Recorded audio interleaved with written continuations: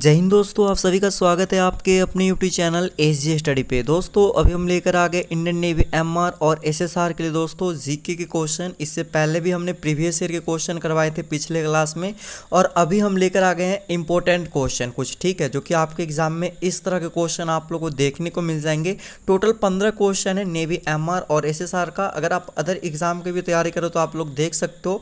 ऐसे ही डिफेंस के एग्ज़ाम में क्वेश्चन आप लोग को देखने को मिलते हैं, ठीक है? और साथ ही साथ किसी भी क्वेश्चन का आप लोग आंसर जानते हो तो उस क्वेश्चन का आंसर का आंसर आप लोग कमेंट सेक्शन में कमेंट करके आप लोग ज़रूर बताना, ठीक है?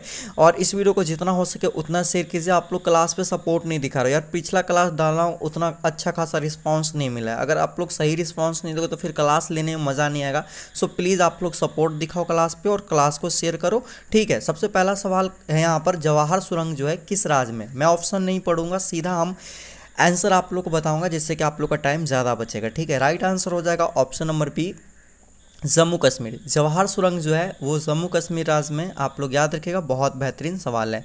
अगला क्वेश्चन की ओर बढ़ते हैं। अगला क्वेश्चन है कि भारत में नोट जारी करने की प्रणाली कौन सी ए, कौन सी प्रणाली अपनाई जाती है ठीक है? तो इसका जो राइट आंसर हो जाएगा ऑप्शन नंबर बी हो जाएगा दोस्तों, न्यूनतम आरक्षण प्रणाली। भारत में नोट जारी करने की जो प्रणाली अपनाई जाती है, वो न्यूनतम आरक्षण प्रणाली, ठीक है?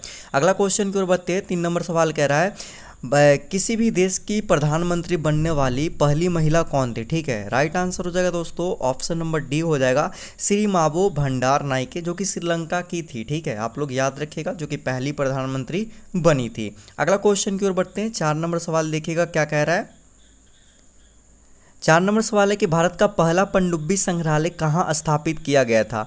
आपके पास यहाँ पर चार नंबर चार ऑप्शन है। इसका जो राइट आंसर हो जाएगा दोस्तों, ऑप्शन नंबर सी हो जाएगा विशाखापट्टनम, ठीक है?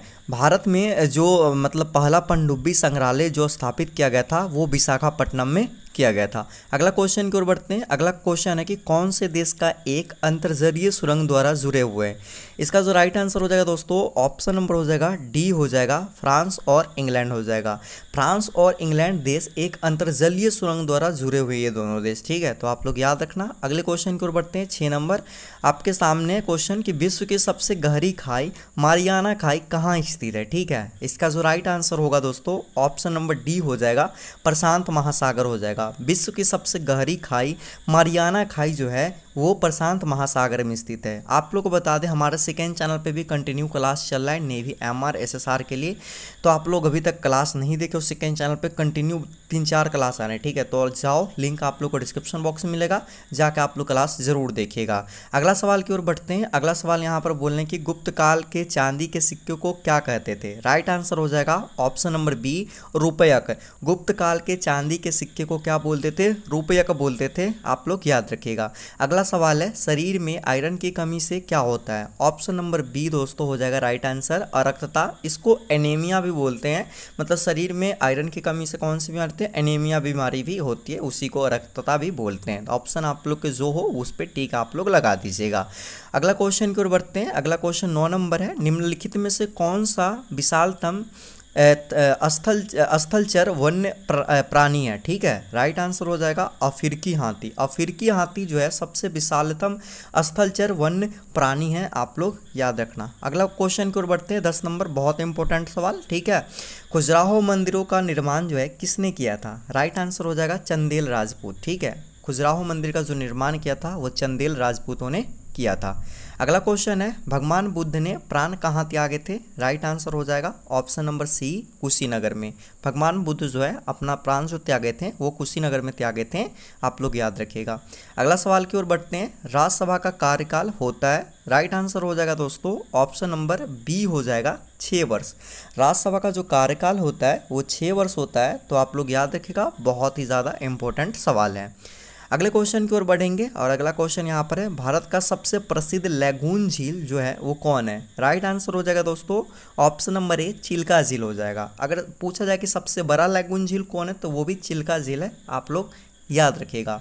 अगले क्वेश्चन की ओर बढ़ेंगे, चौदह नंबर सवाल को देखेंगे। चौदह नंबर सवाल बोल रहा है, भारत का सबसे बड़ा वाणिज्यिक बैंक है। राइट आंसर हो जाएगा ऑप्शन नंबर बी हो जाएगा। भारतीय स्टेट बैंक जो है, सबसे बड़ा वाणिज्यिक बैंक है, आप लोग याद रखना। अगले सवाल की ओर बढ़ते हैं। पंद्रह नंबर सवाल। पंद्रह नंबर सवाल बोल रहा है, भारत का संविधान किस तिथि को स्वीकार किया गया था? राइट आंसर हो जाएगा छब्बीस जनवरी उन्नीस सौ उनचास को, ठीक है?